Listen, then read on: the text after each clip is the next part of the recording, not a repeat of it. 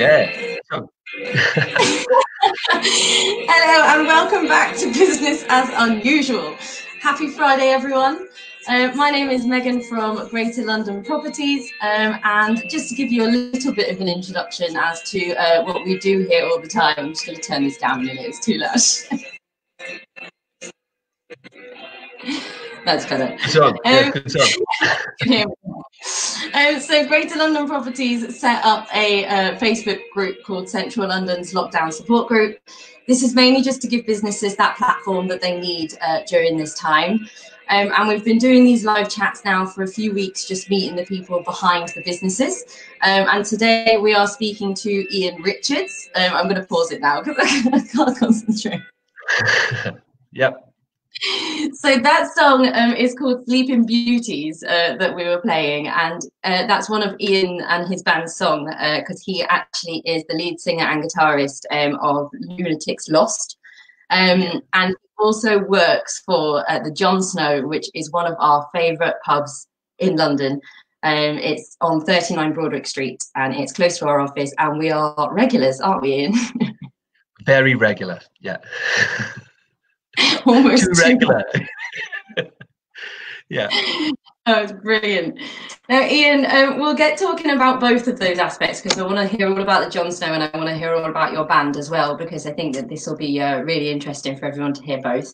Um, so let's start off with the with the pub, like the John Snow, uh, the the love of our lives. We're missing the Taddies. Like us all. Um, yeah. Tell us about the John Snow and, and, and other pubs in London, in Soho. Uh, well, John Snow, I guess, uh, good location. Uh, Broadwick Street on the corner of uh, Lexington Street and uh, Broadwick Street just by Carnaby Street for those people who don't know. Uh, pretty rammed Thursday, Friday, Saturdays. Fairly busy on Monday, Tuesday, Wednesdays as well, strangely enough. uh, yeah, it's a part of the Sam Smith chain. So, yeah, the beer prices, famed for its uh, reasonable beer prices, I guess. So uh, that's why people come and drink lots of it. You know, cheaper than a lot of other Soho pubs. Uh, yeah, but it's location, location, isn't it, for, for John Snow?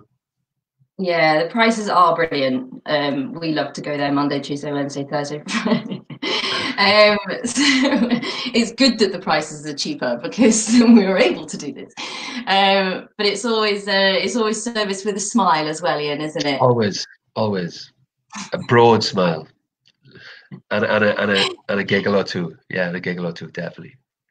And you uh, you do have quite a lot of regulars because I guess once you've kind of uh, chosen a pub in Soho, you you do keep going back. Is that right?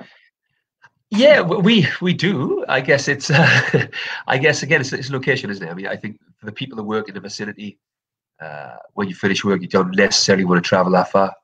Uh, if you worked in Soho, why would you go to Camden or Shoreditch at five thirty on a Friday night? You wouldn't. You'd go to your closest pub, and I guess we occupy that role for lots of people. We occupy a special place in people's hearts, and I'm pleased with that. And all our staff are great. And uh, we should mention a big shout out here as well for my colleague Peter Vallis, who sorted out the technical issue before we, we came aboard. Peter, you're a star. Thank you very much. Peter is locked down with me here in the building. So uh, he's done, yeah. So Peter Vallis, thank you. Thanks to so we can actually see Iain today. I'm looking at the Yeah. Brilliant.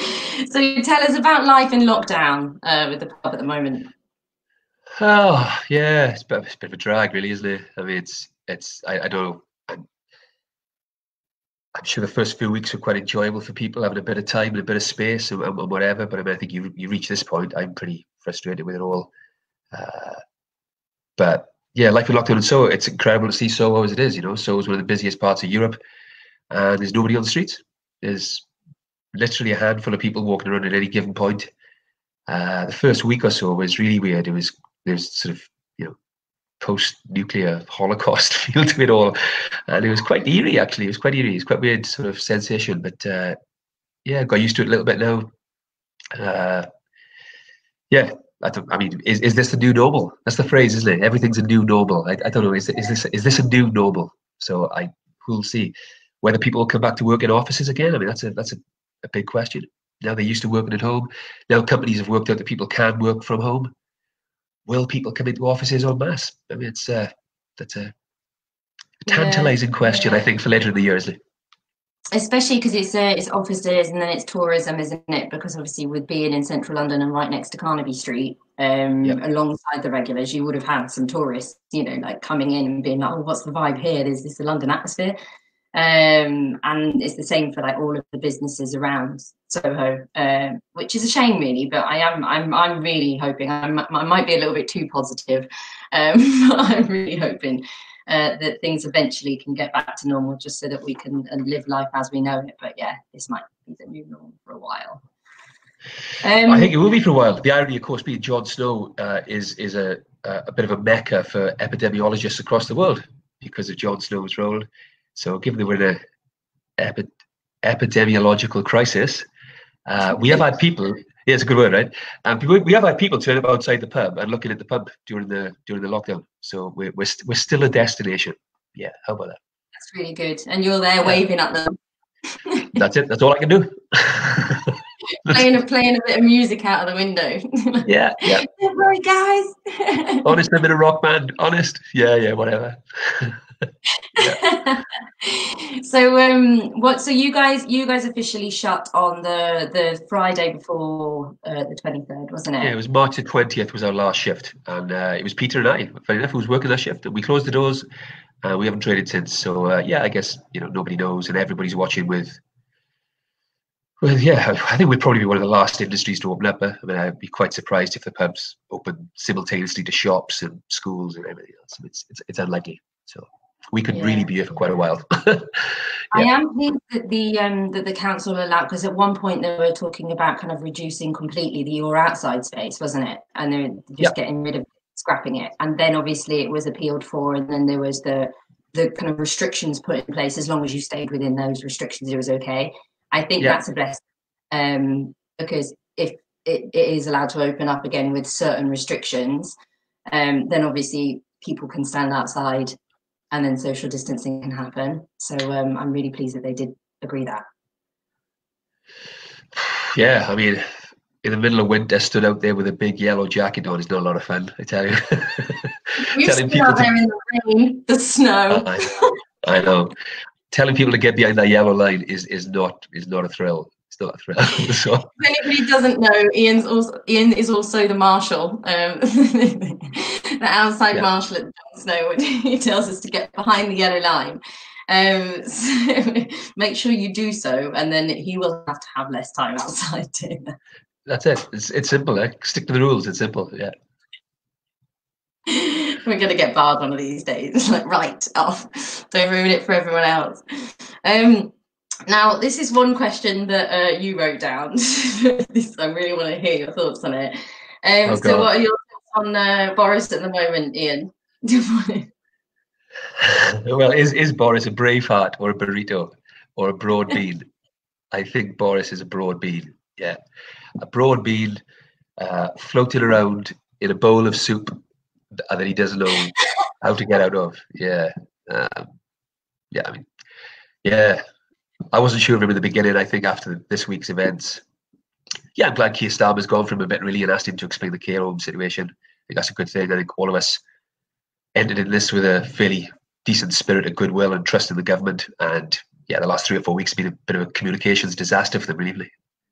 You know, it's, uh, yeah. it's all over the place. It's a shambles. And, uh, you know, I think everybody's sensitive to the fact that a virus exists and everything, re- everybody recognizes that it's quite potent but you've got to tell us the truth. You know, you've got to get your communications right. And it, quite clearly, there's loads of overlapping evidence that doesn't really add up, doesn't really make much sense. And uh, yeah, I mean, it's uh, it's a bit of a shambles, really, and, unfortunately.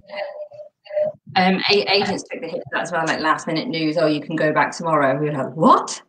Um, so now we're rushing around trying to do everything. So um, yeah, that was uh, he mentioned none of that on Sunday, and then all of a sudden just came out with it. But um, we're dealing with it and we're coping with it, and it's and I'm sure a lot of other agents are as well. But um, it's just last minute news or no no news at all. It's difficult. It's, it's, difficult. Well, yeah, this week I, I don't know whether I'm allowed to leave England to go into Wales, and if I get to Wales, whether I can meet my mother and father at the same time, or whether I meet one of them in the morning and one of them in the afternoon. That is complicated stuff, right? You know, I just like to know. That's all. You know. Yeah, it's as simple as that. Just want yeah, to, just yeah. want to know. Um, thank you for that one. Um, I want to speak to you about your music now, um, sure. just to kind of touch on that because um, I have become a little bit of a groupie in the last 48 hours. Hey, every band needs them. Every band needs them. Um, and um, I did say to Iain that um, the the song that I played at the very beginning, uh, "Don't Worry," play it again at the end for those who missed it.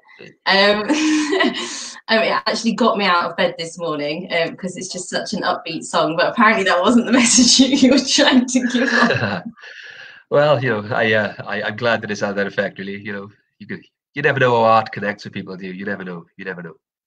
Exactly. Um, so tell us a little bit more about it. Tell us a little bit more about Lunatics Lost um, and where you kind of started out. Uh, yes, yeah, so it's myself, uh, guitar and vocals, Jojo Koo, uh, bass and backing vocals, and occasional lead vocals, actually. Uh, mono on the drums. Uh, the idea was always to have as a three-piece band with male and female vocals. Nice sort of texture within the music, really. And uh, yeah, uh, I guess things were picking up about a year ago. And uh, you know, I, I, we've had, yeah, a couple of mishaps really. I broke my arm in March last year. Well, I've been seen as a three Marches actually. So March 2018 we did a UK tour. March 2019 I broke my arm, and March 2020 we've had a pandemic. What a trilogy! Yeah. So yeah, it's a little bit on hiatus really, but uh, yeah, band we did some decent recordings and we got a pretty strong following in London. It's just trying to see if the band can break out of that and uh, connect elsewhere. Really, that's where that's where we find ourselves. You've got a song called Soho as well, haven't you? I, I do. Written about the John Snow. But, well, written about me working at the John Snow. Yeah. yeah. It's brilliant. Mentions Broadwick Street and everything. If you haven't listened to that yet, everyone, listen. Get on YouTube. Um, yeah, please do. Yeah. Check it out Spotify. Yeah. We're on Spotify. Yeah. Yeah, I was going to say actually, where would you prefer people to watch it for kind of like views and stuff? What gives you the best? Um... Oh, uh, most yeah, our most recently recorded, our most recently recorded EP went up on Spotify this week. So I think if you go to Lunatics Lost on Spotify, you'll get all the new tracks as well as Soho and Sleeping Beauties. Yeah. Perfect. Um, so tell us a little bit more. So you you must have had influences, um, kind of like in your past to bring you where you are now. Tell us tell us yeah. who in, who's influenced you. Well, I think when you when you grow up in South Wales in the Welsh valleys, uh, there's you haven't got that much immediate access to to to bands. So I used to have to go to Newport and Cardiff to watch gigs and so on. Uh, but initially, as a youngster, my my favorite band was uh, Manic Street Preachers. Uh, from my town in Wales, so they were a big influence on me. And I guess a lot of the Seattle bands, Nirvana and Soundgarden and Pearl Jam and bands of that era, really, that sort of guitar sound. Uh, in most recent times, I suppose, uh, Pixies, The Breeders, Dinosaur Jr., Sonic Youth, all those kind of bands. Uh, uh, in the modern era, I suppose I, I love the White Stripes a lot.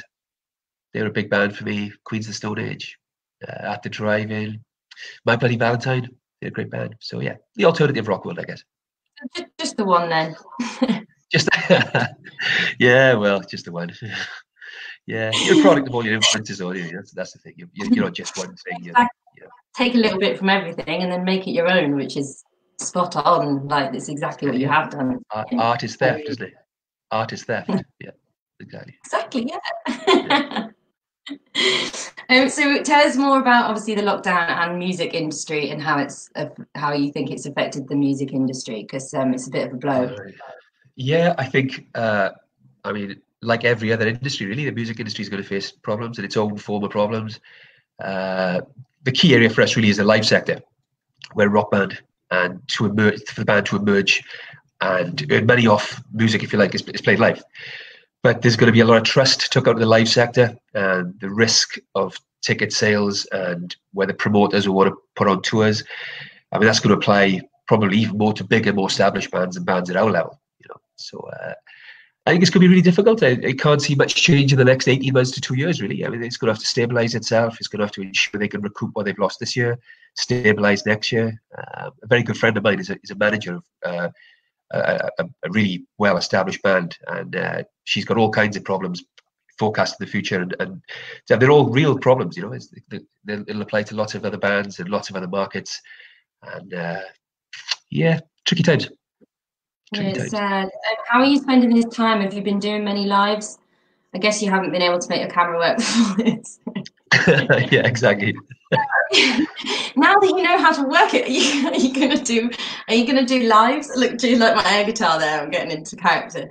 Um, yeah, are you gonna do? Are you gonna do live shows for, like on on screen? Do you think like virtual live shows? Yeah, maybe maybe later in the summer. I've used the first few weeks basically to just play lots, and you know, it's uh, if there's only it's probably one of the few positives. There's lots of time to write songs really. So yeah, this period has been more of a kind of creative writing period, and uh, yeah, we'll set some stuff up later in the summer, I think, and uh, yeah, have a lockdown sure. festival. Lockdown content. Yeah, lockdown festival. Three different nights: Friday, Saturday, Sunday night. Three different acoustic sets live in my room. I think that's the plan. Do an August bank holiday to replace the Reading Festival. I think that's it. There's no Reading Festival. Just send out something now. Don't worry about the festivals being cancelled. You can tune in here. Yeah, exactly. Um, yeah. I'm sure you'll be able to get all three of you on the Zoom as well. Mm, working it out. Sorry, I'm getting I'm getting carried away with my air guitar now. Um, so, what do you um, what do you do? You think that it will be kind of uh, your thoughts? Obviously, nobody knows, but do you think that it might be kind of back to normal within 2021, 2022? Do you think that it's just going to be the same? Yeah, I mean, it, it's I, I, I, I don't know. I mean, I guess is the truth well, yeah, we, we don't know, do we? I mean, uh, we, we don't know how long we're going to be in this position. And I guess the, the, the real problem is being able to plan anything. You can't, that, that's the real problem. The problem isn't necessarily playing it, but you can't plan anything. So think for us, that's hugely problematic, really. Uh, yeah, impossible to make a decision. I spent the first week of the lockdown cancelling about eight gigs, cancelling three months of rehearsals, cancelling recording time yeah, pretty depressing fortnight, really. you know, you spend months putting everything together. Yeah. A lot to take on, is isn't it? Yeah. Um, yeah. Just as a little bit of a, because obviously everyone is in lockdown at the moment. Uh, what you, what would be your five, uh, your top five lock, lockdown discs? well, I thought, I think we should go to the home really of where alternative music started, and not a lot of people really know this, but the most original alternative bands came from Detroit. So I thought, yeah, Detroit, America, and I thought I would do a Detroit top five, really. So started in 1969, uh, MC5, Kick Out the Jams, amazing live album. albums, unusual for a band to start their career with a live album, but it's recorded at Detroit's Grand Ballroom. Uh, one of the best live albums ever. MC5, Kick Out the Jams, 1970, The Stooges, uh, Funhouse, any any of the first three Stooges albums are brilliant, but that's my favorite of, of the three. Uh, then Iggy Pop goes solo. David Bowie keeps him alive and takes him to Berlin, and Iggy Pop records "Lust for Life." So I think Iggy Pop "Lust for Life" is a good good approach for this period. I think really for us to to want to start living again, get it in there, kids. Uh, Detroit number four, one of my favorite guitar players, uh, Jack White, White Stripes. So I would say White Blood Cells by the White Stripes, 2001 they got big on Elephant, but White, but White Blood Cells, I think, is a slightly better album for me. And then number five, I'm going to put greatest hits in there, and it's Motown's greatest hits.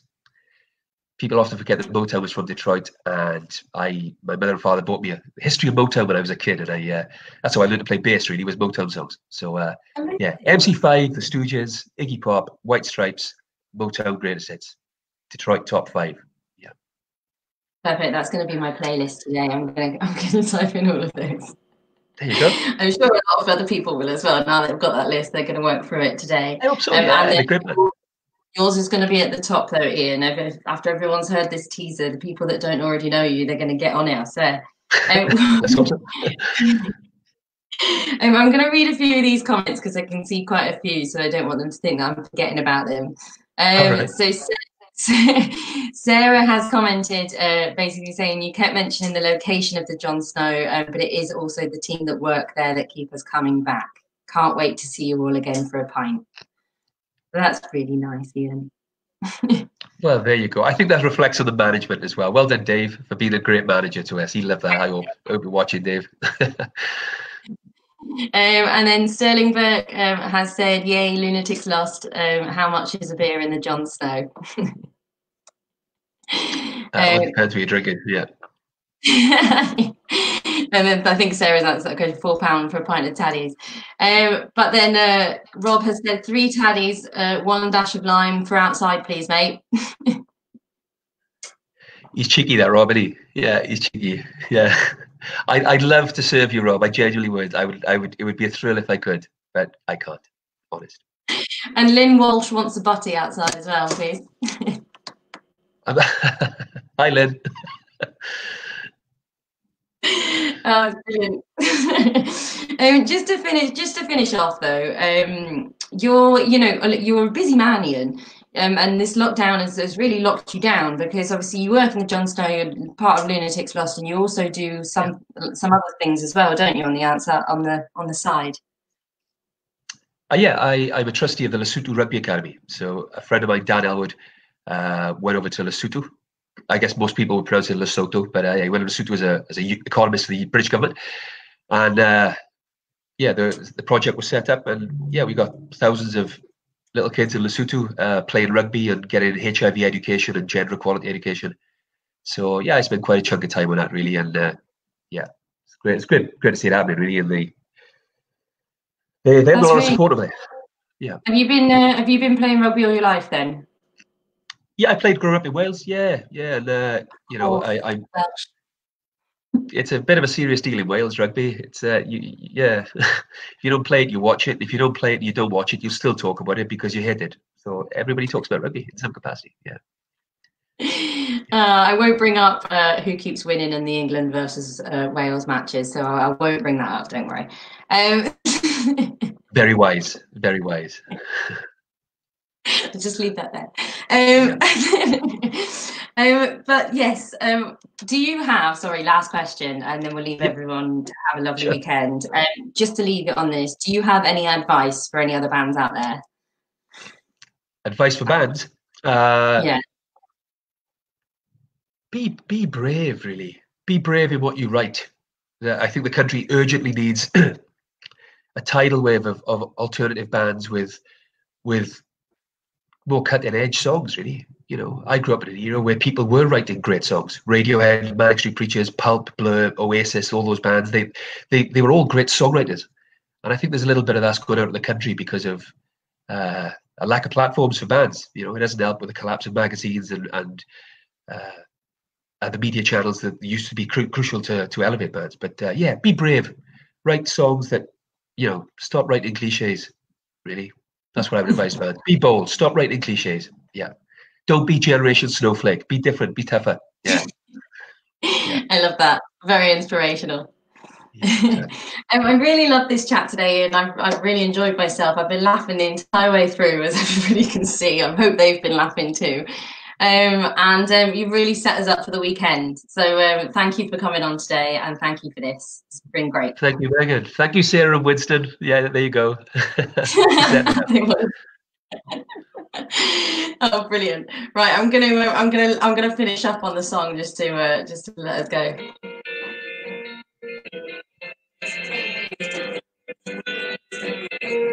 There you go. Good stuff. Good stuff.